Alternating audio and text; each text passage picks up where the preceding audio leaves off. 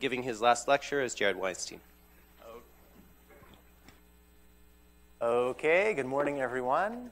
So I want to pick up uh, where I was talking last time. May I see my notes? Okay. So from last time, um, we were interested in providing a moduli space of untilts of a perfectoid space in characteristic P. So let's start with the case of a field. That is the kind of absolute case. Let's suppose C is a perfectoid field, um, characteristic P, of course, and algebraically closed. And I had made a certain definition, and that was of a certain adic space, which I called script y sub c. And this was built out of the ring of Witt vectors of C circ. So I can form SPA of this, but I want to throw away the points that think that P and pi are zero.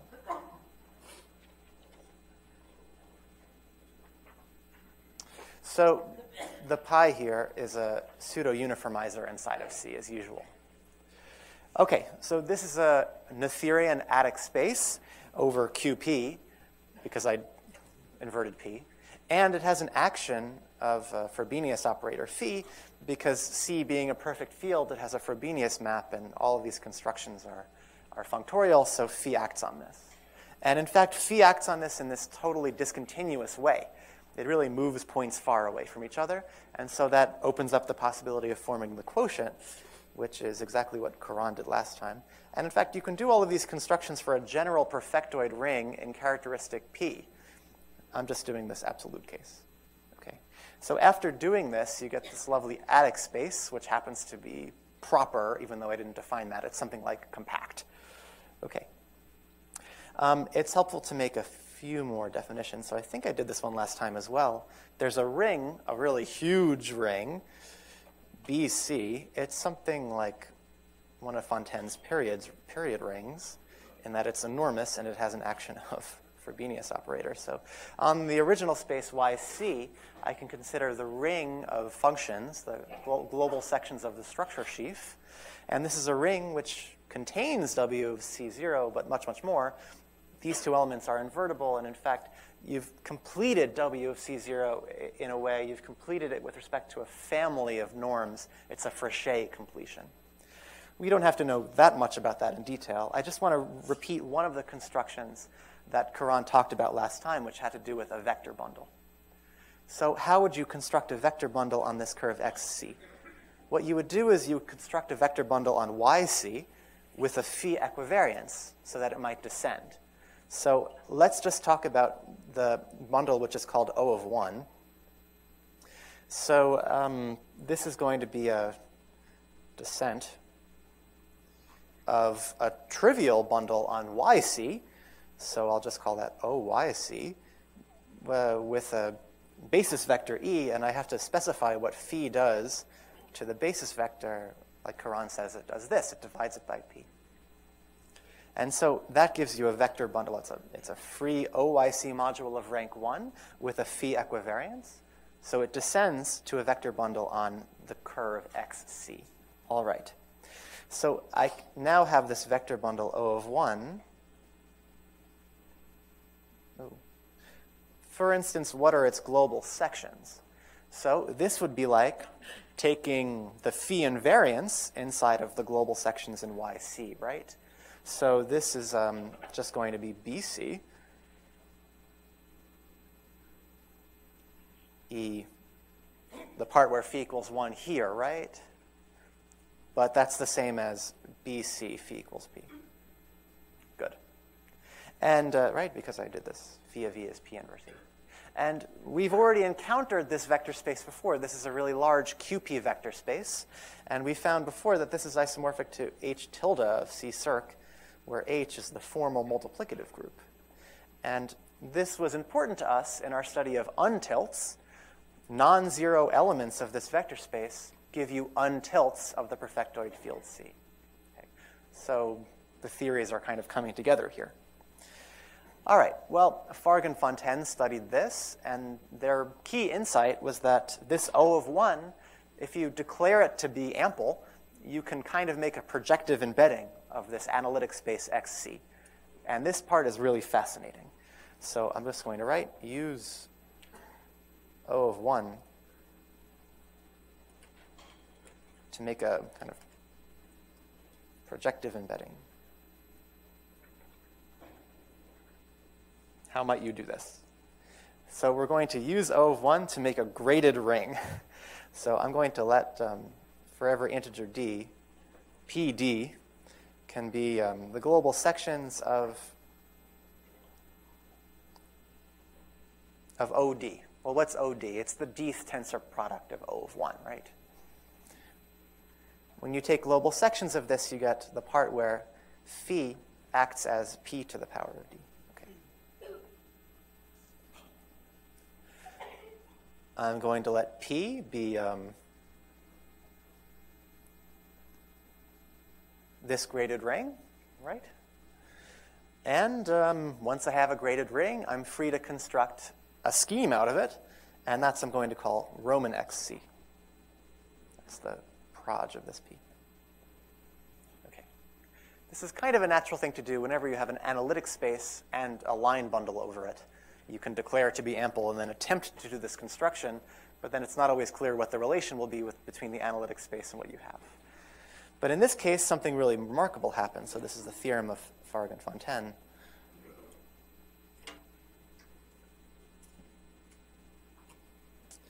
Um, well, uh, for one thing, um, P0, the part where phi acts as 1 on BC, that's just QP.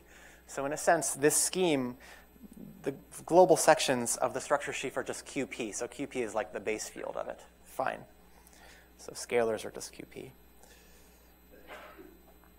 P is a graded factorial ring. That means that elements of any particular PD factor uniquely into elements of P1. Very strange. And um, let me just kind of sum up what this XC is. XC is an integral Noetherian uh, scheme of dimension 1. And, um, okay, so it's, it, it's not affine, but if I remove a single point, it is. Let's suppose I have a closed point in it. So this absolute value sign means the set of closed points of xc. This is an integral Noetherian scheme of dimension 1, which means there's a single generic point, and then every other point is closed. If I remove one of these points, I get the spectrum of a ring, and in fact, the ring that I get is remarkably a PID. Incredible. So this construction using these enormous rings actually gives us something quite easy. What kind of curved curve do we know? I mean, this is like a curve, it's dimension one. What kind of curve do we know where if you remove any point, you get the spectrum of a PID, the projective line? So this whole time you're kind of thinking P is analogous. Well, yeah.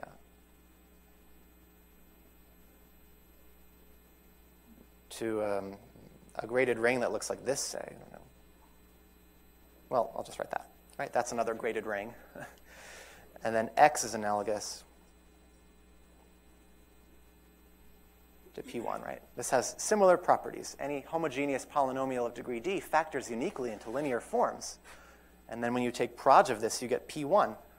P1 has the property that if you throw away any point, what's left over is the spectrum of a PID, a polynomial ring, right? So this XC, even though it had these very alien origins, is something kind of familiar. It, like, it looks like P1, but with this one huge difference, which is that this curve is not a finite type over any particular field. So yes, it contain, you know, there exists a map from it to spec QP, but that map is very far from being finite type. Okay. Um, how do I know this? Well, let's look at the residue fields of it. So this last bullet point says the following.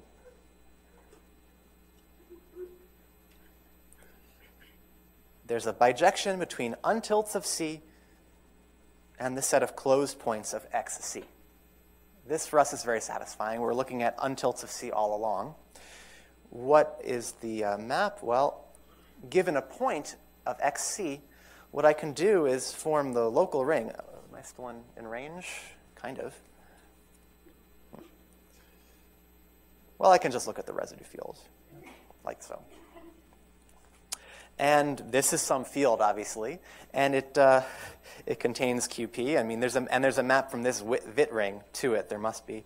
Um, well, yeah, this is just going to be an un untilt of field C. Obviously, this isn't obvious, but this is part of the theory. Okay. All right. Questions? Okay. So you go from a ring where height 1 primes are principal. That's right. Right. When you remove any point, you get a principal ideal domain. Okay. Oh. All right. So, um, so this gives a wonderful parametrization of untilts of an algebraically closed perfectoid field of characteristic P in terms of the closed points of a pretty reasonable scheme. So this is going to help us in our search for a kind of moduli space of untilts. So.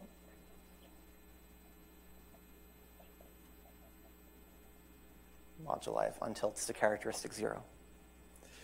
So um, how do we relativize all of this, right? We don't just want to work with a general C, we want to work with a general perfectoid space of characteristic P.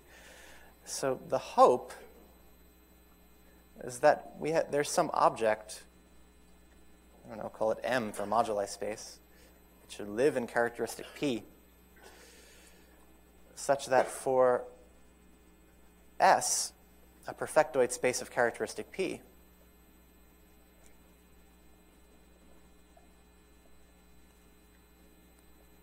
uh, the S points of M, by which I mean the morphisms from S into M, right? The functor of points. I'm going to be translating between these two languages a lot. M gives a functor on perfectoid spaces in characteristic P. Okay. I want this to be the same as untilts. So what is an untilted S going to be? So it's going to be an S sharp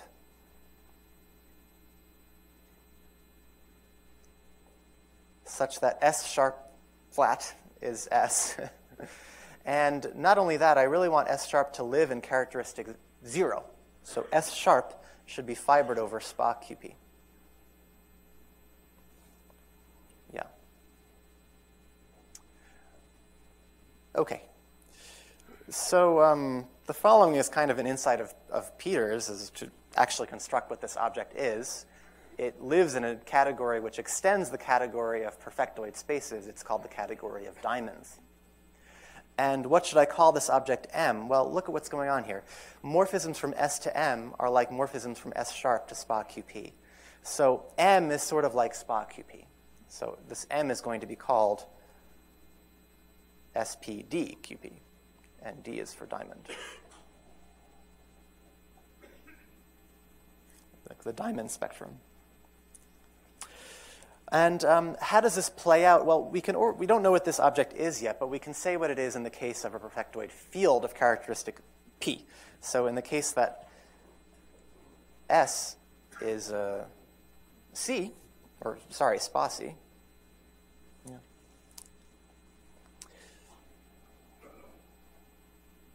We already know what M of S is. We have lots of parameterizations for it. So one of them is the following parameterization you can take this um, H tilde of C0, remove a point, and then mod out by a ZP star. And this is kind of a suggestion for, so yeah, this is what we discovered last time. This is huge QP vector space, puncture it, and then quotient by ZP star. This parameterizes untilts of C. And so this kind of hints at what this M should be. It should be something like the quotient of H tilde by ZP star. Um, and H, H tilde is something like a perfectoid space. Well, actually, right now it's not because I didn't invert a uniformizer. But once I actually um, remove zero, it becomes one. So uh, let me clean this up a little bit. This is in characteristic P, so base changing to FP doesn't do anything. Uh, what is H tilde FP? No, it's this formal scheme. It's a SPA of FP power series T1 over P infinity. And uh, right, so that's what it is. It's a formal scheme, but it also has this QP vector space structure. Uh, in particular, it has an action of ZP cross. What is that action? Well, what does it do to a parameter? Uh, well, it follows a law like this. If I have an element A in ZP cross, it takes 1 plus t to 1 plus t to the power of A. So A acts by exponentiation whenever A is a p-adic unit.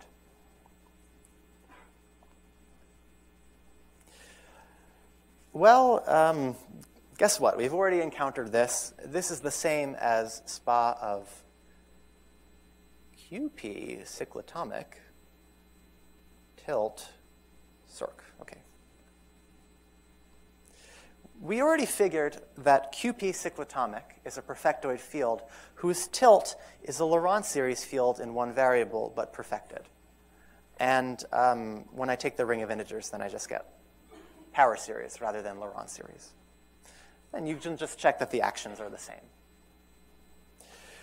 So we're a little bit closer now. What happens when I remove the origin?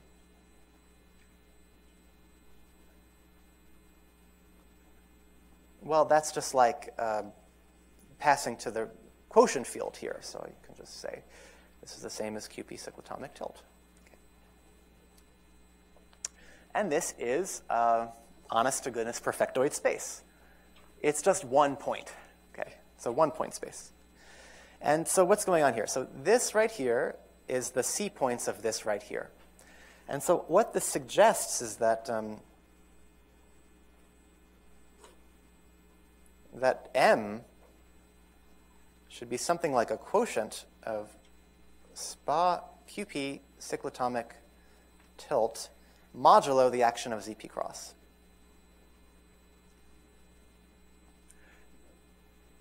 Because if I take the C points of this and interpret that as taking the C points of SPA QP cyclotomic tilt of C modulo ZP cross, I get the right thing.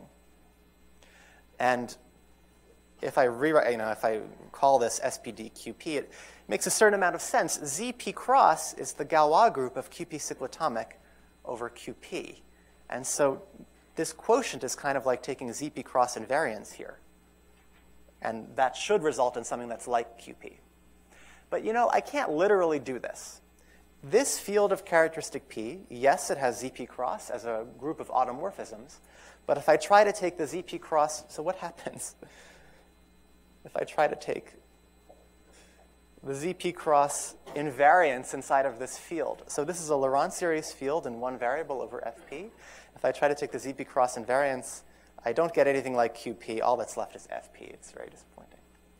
What this is trying to be is like a tilt of QP, but that doesn't make any sense.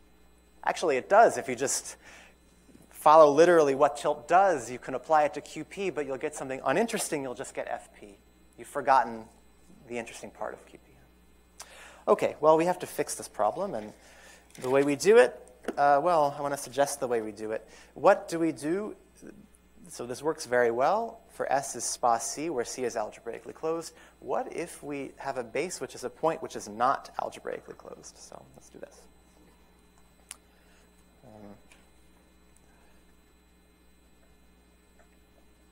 So now I'm going to use the letter K rather than C, indicating this might not be algebraically closed. So let's say it's a perfectoid field.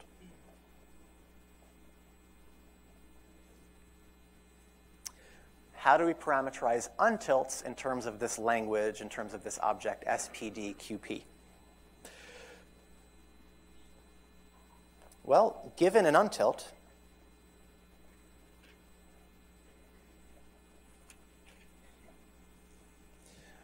I can't do what I did before. What I did before was to compile a sequence of roots of unity of p to the nth power order inside of k sharp, but k sharp may not contain them. Fine, I'll adjoin them. Um, let me put an infinity here, and that's going to mean k sharp, I adjoin all pth roots of unity, pth power roots of unity, and then I complete. And this is a perfectoid field.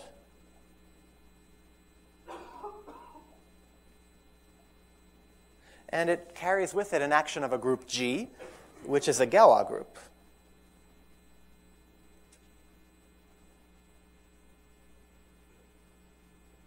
Right, that's Galois, that's fine. Okay, it's some subgroup of ZP, sure. So this is a perfectoid field, and then I can start doing what I did before. I'm going to take the tilt of it. Well, no, wait, not yet. Um, in fact, I'll just do this. Certainly the field QP cyclotomic embeds into K infinity sharp. Okay, there we go. Now I'll take the tilt. I have one perfectoid field sitting inside of another.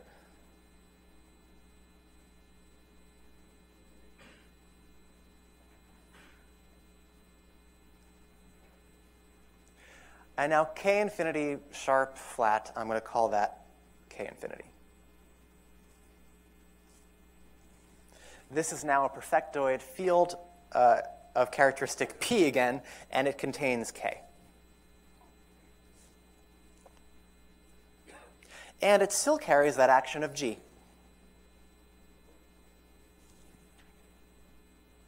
So what's happened? I had a perfectoid field k, and I have an untilt of it. Uh, I then pass to this huge extension of it, possibly huge, and then I tilt the result. So now I have this k infinity over k.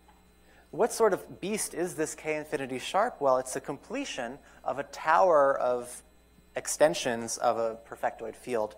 So this k infinity sharp over k is what's called proétale, which is the, like the thing Bhargav was explaining. Except it's quite simple in this case because it's just one point. Spa of this is just one point. But it's a completion of a tower of étale, finite étale extensions. Oh, sharp.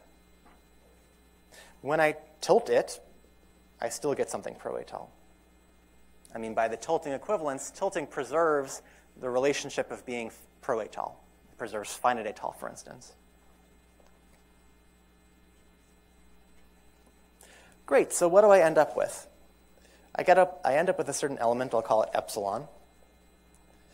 And this lives in um,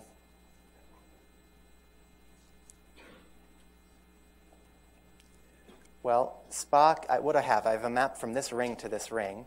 So I have a point of this perfectoid space over k infinity.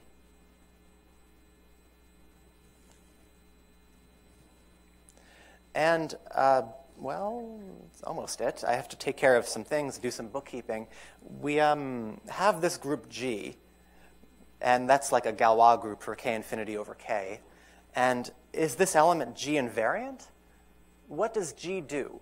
Well, G operates on these roots of unity in some non-trivial way, possibly, and G is going to change this embedding. How would it change it? Well, it might change it by an element of ZP cross. In fact, it changes it by a cyclotomic character, essentially. So what happens, though, is that you don't, get, you don't quite get a G invariant element. What you get is, if I mod out by ZP star first, the whole thing is going to be G invariant.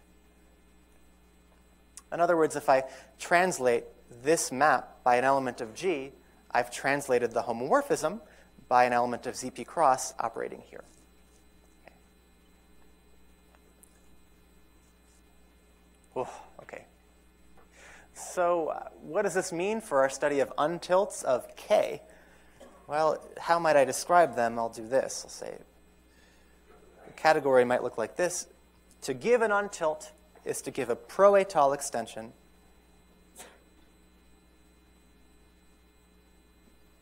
maybe it's Galois with group G, and then an element of SPA QP cyclotomic tilt. Functor of points on QP, modulo ZP star, oh boy, G, and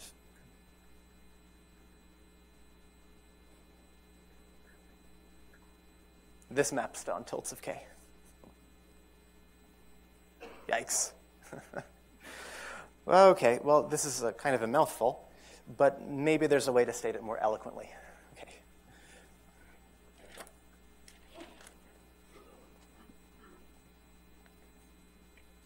Well, um, Bhargav set me up pretty well for it because he already talked about, I guess that's one, that's two, because he already talked about the proétale site. So the way to clean this up is to use the language of sheaves on the proétale site. This is going to be a section of a quotient sheaf on that site.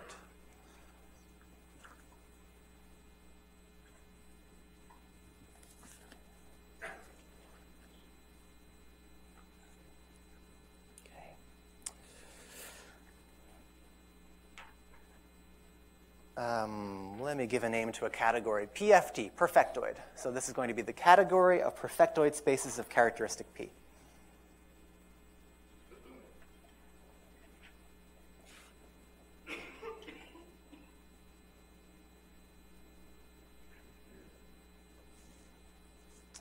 And I give this category a topology. Uh, we have discussed the proétale site, so I can give this category the topology of the proétale site. So.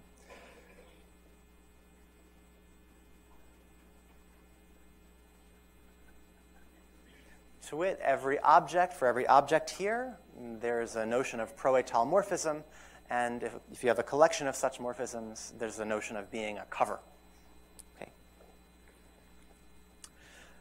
So, given an object X, a perfectoid space, well, you get a functor of points, Hx.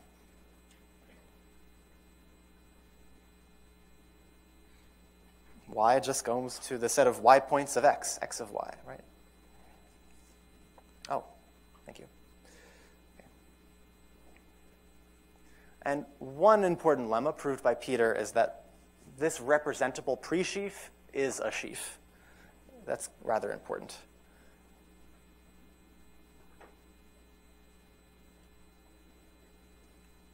So this is morphisms from Y to X. Oh, yeah, I really should have written, written this, yeah.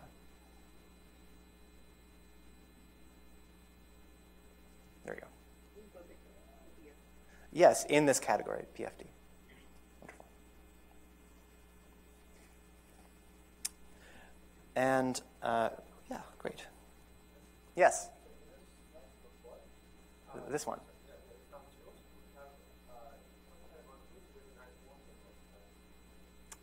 Yeah, I've been a bit sloppy about what I mean by an untilt. What an untilt really means, thanks. An untilt is really, by definition, a pair K sharp iota. Oh, well, go to my notes. I've explained it a little more carefully than I am now. So this iota is K, an isomorphism between K sharp tilt and K. I guess, I- guess the iota appeared at this stage. Okay. So uh, just some notation. If, if x is a if x is a, uh perfectoid space in general, possibly of characteristic zero, um, I'm going to make this piece of notation. X upper diamond is going to be this representable sheaf attached to the tilt of x.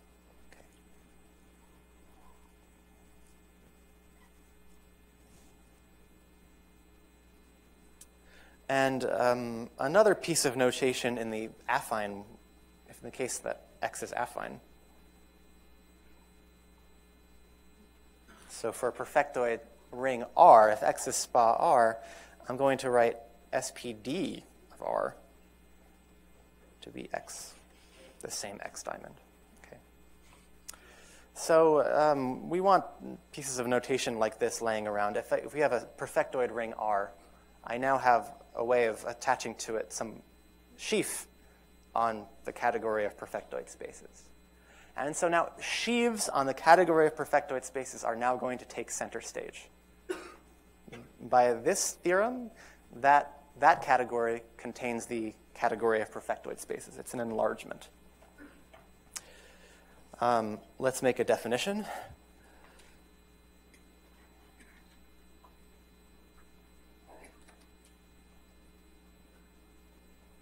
SPDQP. Okay.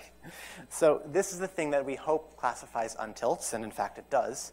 So a priori, this is not well defined yet, because R is not a perfectoid algebra. I should write this here. R is perfectoid. Instead, what I'm going to do is construct SPDQP cyclotomic. That makes sense because this is perfectoid. So this is a sheaf on the category of perfectoid spaces. I'm going to take that sheaf and quotient it by ZP cross, which is the Galois group of QP cyclotomic over QP. So it's kind of, you're remembering the descent datum from the cyclotomic field down to QP. And so this is as a sheaf on PFD.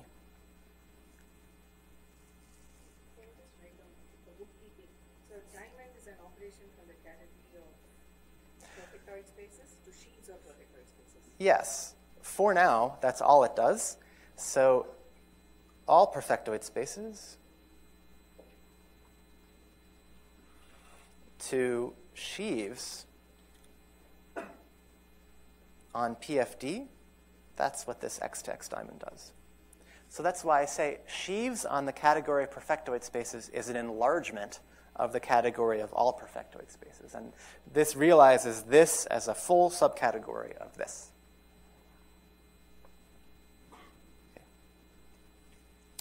All right, so we have this sheaf quotient. I, should, I want to be somewhat explicit about what this does. When you form the quotient of a sheaf by a group action, say, you have to take the, well, you can do the naive thing. Sections of this over some test object might be sections of this, the original sheaf, modulo that. You get a pre-sheaf that way, but you have to sheafify. So to sheafify, you have to pass to some cover and really give a section over each element in the cover. That's how you would write down an element. So just to make this perfectly explicit,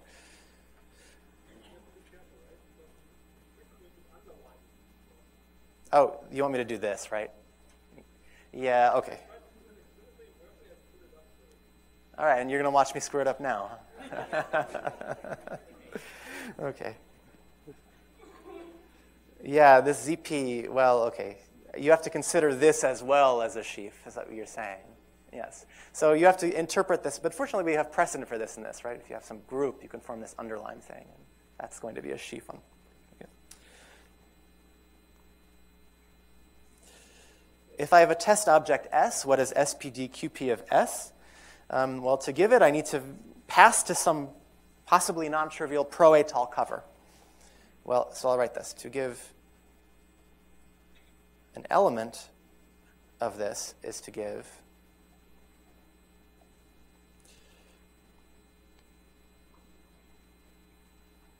S tilde to S, a pro-étale cover,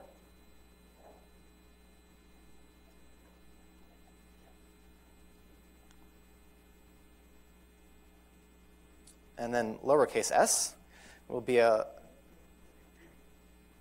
a morphism from S tilde into SPA QP cyclotomic. In other words, an S tilde point of SPA QP cyclotomic tilt.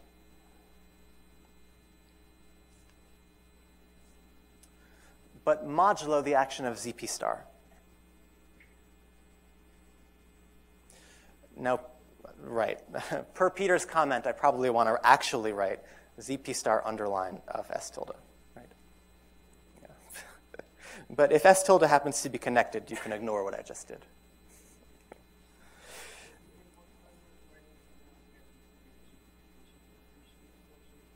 Is the, the purpose of writing this underline, this little detail, is to sheafify the constant pre-sheaf, which assigns to ZP to every object. So it's true, I may run into trouble with it. No?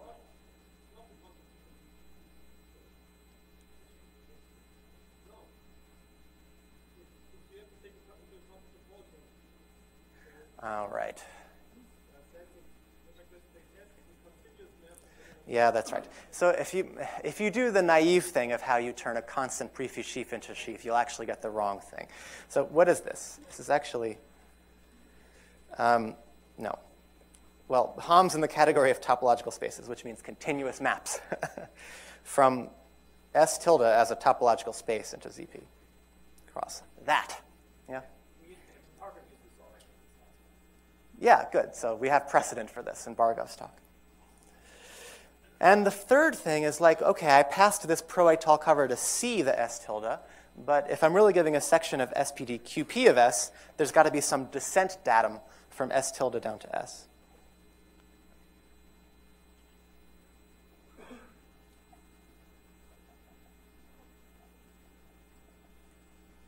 Yeah.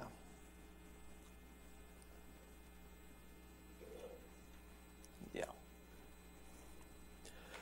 And, uh, well, to write down what a descent datum is, if you've never seen it before, I don't think will be very enlightening.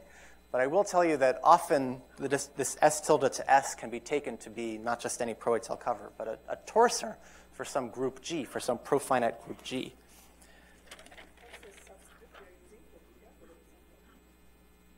There's no subscript here. I didn't write any beta.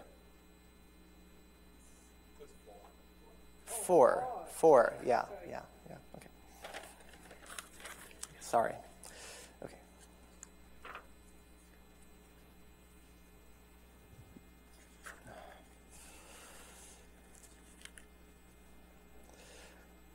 Well, the relevant theorem here is what does SPDQP do to, do to S? Well, it does the thing that you expect it to do. It classifies all of the untilts of S.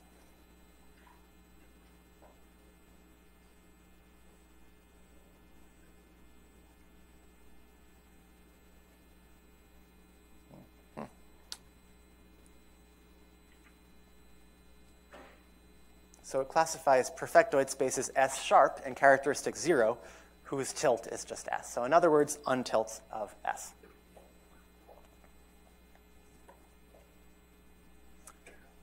All right, fantastic. So you could spend a little more energy trying to spell this out very explicitly because I wasn't very explicit about what a descent datum means and how you use it. But um, rather than do that, I think I ought to say something about what this object is, what category it lives in.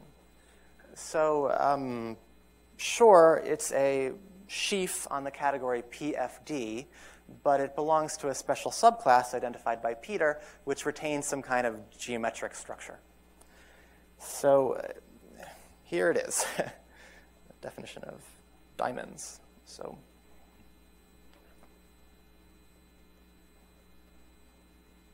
a diamond is a quotient of an object of PFD that is a perfectoid space in characteristic P. By well, not necessarily a group, but an equivalence relation, a pro-étale equivalence relation.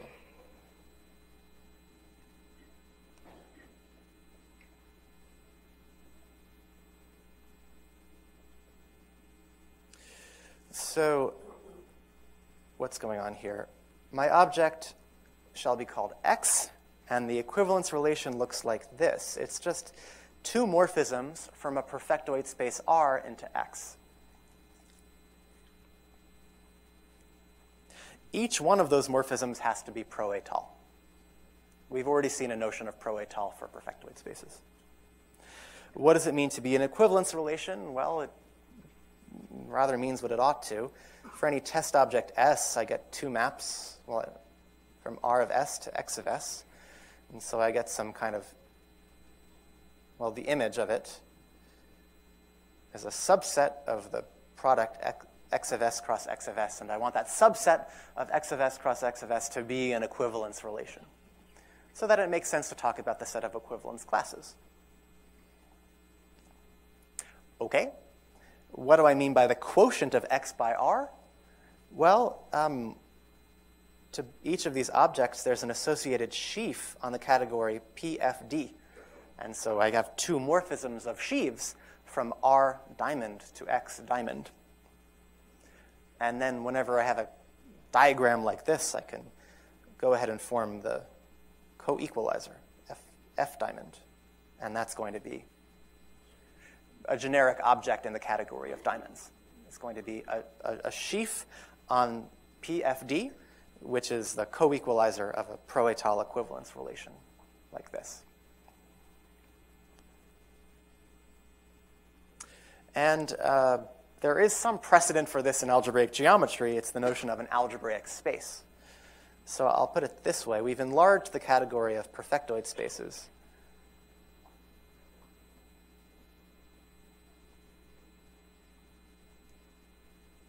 As, uh, as schemes are to algebraic spaces. An algebraic space is a quotient of a scheme by an étale equivalence relation, and now we've just. Superficially, it seems like a straightforward generalization, but there's a lot of details to take care of, sure.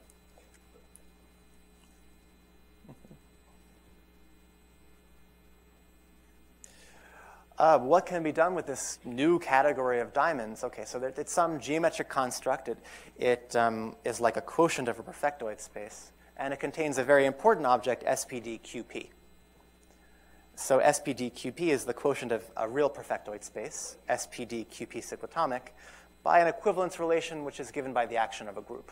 Often in practice, that's how these things come about. But many more things are diamonds. In fact, there exists, so this is another theorem of Peters, there exists a fully faithful functor from really a huge class of adic spaces, analytic.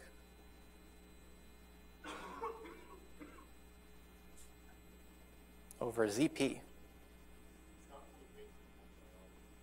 Uh, what do I need to make it so? Oh, that's right. There's some normality condition. Oh, yeah.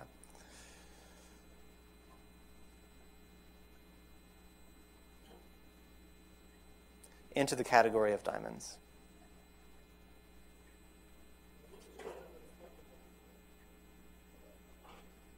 What? Oh, you mean diamonds over what? Sorry, structure morphism over spot ZP. Okay. Oh, I see. I see. Uh, well, I think it's simpler if I just wrote down, wrote, crossed out the fully faithfulness part. Okay, so, so there's a functor. yeah, it, it's true. I'm being sloppy with coefficients. Uh, if I had written, I could also write adic spaces over QP and then preserve the structure morphism to QP here. Otherwise, there's no chance it's going to be fully faithful. Sorry. Yeah, well, if I'm going to do that, then I might as well cross this out. All right, this is first look, at, a, at a glance, there at least exists this, this thing. Yeah. So what does it do? So what is X diamond?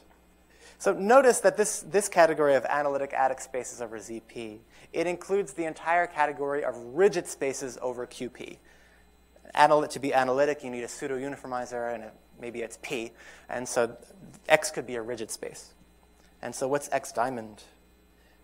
Well, what does it do on a test object Y? So that's going to be the set of untilts. In a sense, it's like untilts to x. So if y is an object in PFD, then what does x diamond do to y? It's the set of untilts y sharp, which are fibered over x. It has to be has to be has to actually be an untilt, right? Okay. All right. So y sharp is fibered over x. Wonderful. So this is uh, mimicking what's going on over here. So SPDQP is the diamond version of the rigid space, which is just one point over QP.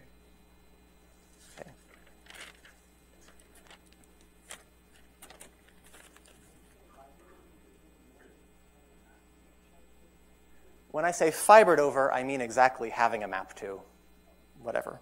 Yeah. This is page five. Okay. Well, I don't have such a long time left, so I wanted to give some examples.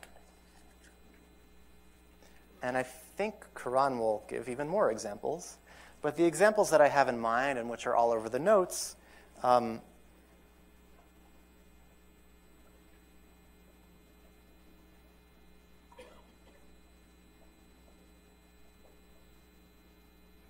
okay, so I'm interested in diamonds which happen to also carry the structure of QP vector spaces, and this continues a theme that I've been talking about. So um, here's what I'd like to do. I'd like to consider the following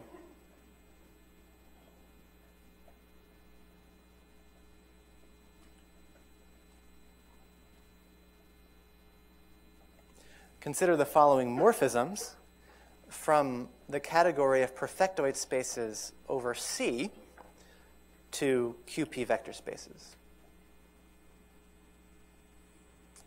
Where C here uh, is going to be in characteristic zero this time. C over QP will be a perfectoid field, algebraically closed perfectoid field. So, what are all of the ones that we can think of? so, Okay. And when you write PFD, do you still mean B perfectoid spaces here? No, now I mean perfectoid spaces over C, where C is in characteristic zero. But we know now that that means the same as, it, this is like a base change. I mean, it's like um, perfectoid spaces equipped with a morphism to SPDC. Yeah. so um, here's a really simple one. It's just QP, but I'd better underline it. So this is going to be a sheaf, the sheafification of. Oh yeah, same problem. yeah. Of R goes to QP. Okay. Well, yeah.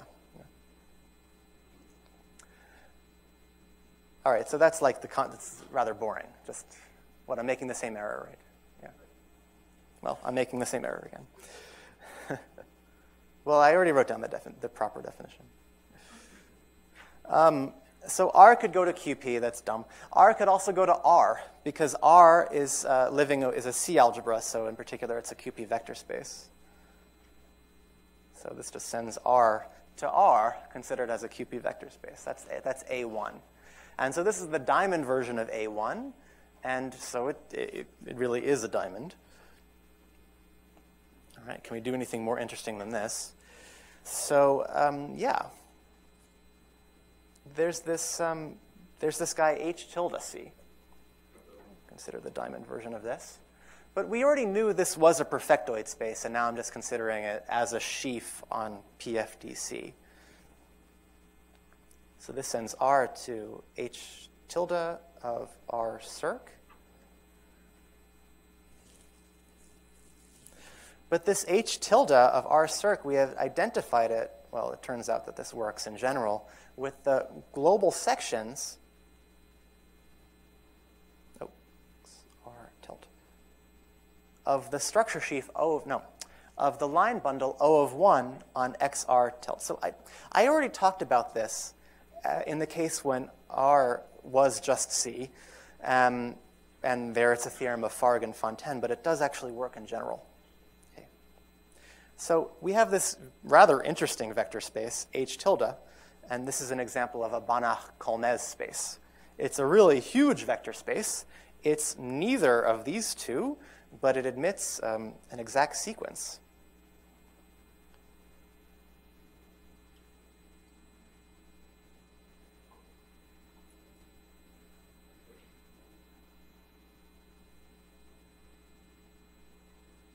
Better shift that by one. So this we talked about um, in a previous lecture. This map is something like a logarithm map, and the kernel of a logarithm map is like a Tate module consisting of roots of unity, systems of roots of unity. So we get an exact sequence like this. So the category of diamonds contains rather interesting hybrids between vector space objects of the previous two sorts.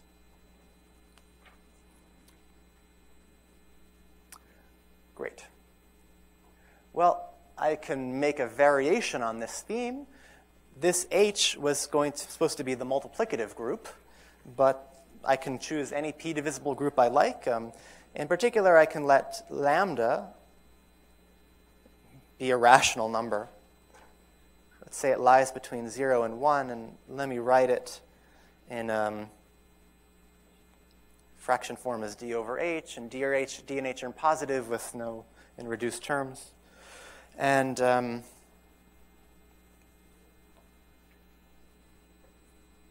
then I can form a p divisible group, h lambda. And I can replicate what I did in this bullet point.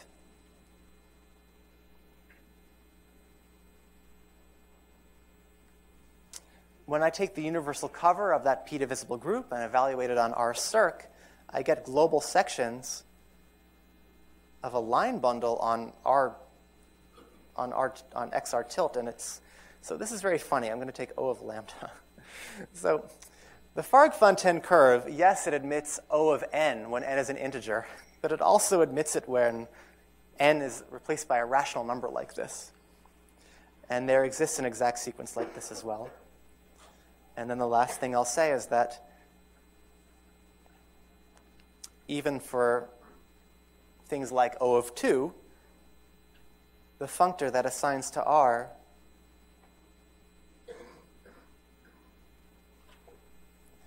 um, this QP vector space is also a diamond.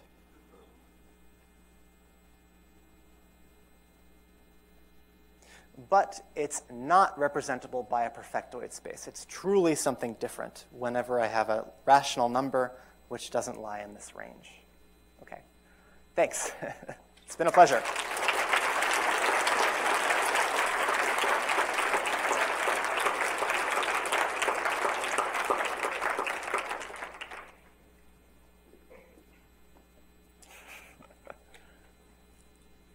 Questions?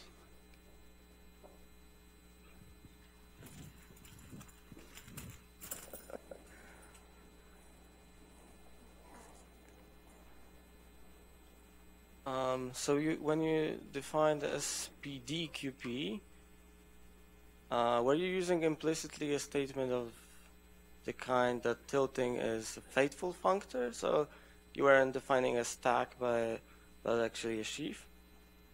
It really is a sheaf. Um, so, So sorry, is the tilting is, is uh, the operation of tilting a faithful functor? Because the operation of tilting a faithful functor. So from S to S tilts, yes. Yeah, this is part of the tilting equivalence. Unless I misun- misunderstand. No, for the tilting equivalence, you had the base perfectoid field. Yeah, so that, that's right. So I, I think I understand the, the, the question. If you, if you, um, yeah, as Peter said, when you want to untilt a morphism, the target of that morphism is the base, and then you can use this like relative tilting equivalence to untilt the, the source. Yeah. Why are these things called diamonds? Why are these uh, such a very common question for Peter these days? I think when I ask him, he answers like, "Well, I liked this symbol." To, but no, no, no, no, no. There's. I'll let. I, I'm just going to turn this over to Peter. So. Uh, why diamond? Um, you see, it's an object that whenever you try to look at it, you can't actually see the object itself. But like, um, like any point that you have, you really like. You want to have this object SPA QP, but you only really have SPA QP cyclotomic, and any point of SPA QP occurs more profoundly often in SPA QP cyclotomic. That's like if you have this diamond and you look at it, and there's some impurity, some point in there somewhere, then uh, I guess you see some more profoundly many reflection of, of it along the many sides. And it's hard. Okay, and they're hard. That's really funny. But not rare. Okay, thanks. They feel like they're related to crystals, but they're not crystals. So- well, I, I like I like the notation. It's like a mineralo- you know, Grothendieck liked his mineralogical term, term, terms. So it's continuing a tradition. Yeah, I've sort of lost the plot. Earlier, there was Font- Fargues Fontaine, where you had a moduli of untilts in characteristic zero, Yes. right? And then these diamonds, somehow you're taking the story to untilts of k in characteristic p. Your yes, K, so if I I remember today, your K was over FP, right? I mean, it was characteristic P object. Well, yes. Well, yes, yes. That never really. Ch- oh, you mean this in this last side? Why is my No, no, C suddenly even in characteristic the- zero? Well, Well, even at the beginning, you had this uh, map which said K infinity over K pro-étale. with Right. group G, and then you wanted to map it with untilts of K, and I thought somehow that's how diamonds entered the picture. yes. But on the other hand, independently, you have the story of tilting and going from characteristic P to characteristic zero, vice versa, etc. Well, that story with the K's, K was characteristic P, and I was attempting to describe its untilts. And we found that there's this object, SPDQP, which kind of does just that. So can you draw a diagram? So you, on the one hand, when you have characteristic zero perfectoid, you can tilt and go to characteristic P. True? And then you have the moduli of tilts in characteristic P. Yes. And then you have the moduli of tilts in characteristic zero. That was no moduli of tilts in characteristic zero. There's well, just one was, tilt. That was somehow, uh, sorry, moduli of untilts in characteristic zero. Yeah, that was you can Fargues write down Fontaine. a. So how do the four fit in? Is how there, do the four fit in? Yeah, so you have four right, well, objects one- and you have various functors going from one to the other. How do they, is there a larger picture where you can see all of them? Perfectoid spaces over QP have now been identified with perfectoid spaces X over FP together with a morphism to, that are fibered over SPDQP. That's one part of the picture. There's also this funny Fargues-Fontaine curve, which I introduced. Um, how does it really fit into this picture? Well, there's something called the diamond formula, which maybe Kiran will talk about. So maybe I can just punt it towards Kiran's lecture. I think I'll answer this question. Wonderful. Okay, so just in view of the time, maybe we'll take a quick break. Let's thank uh, Jared for a wonderful series of lectures.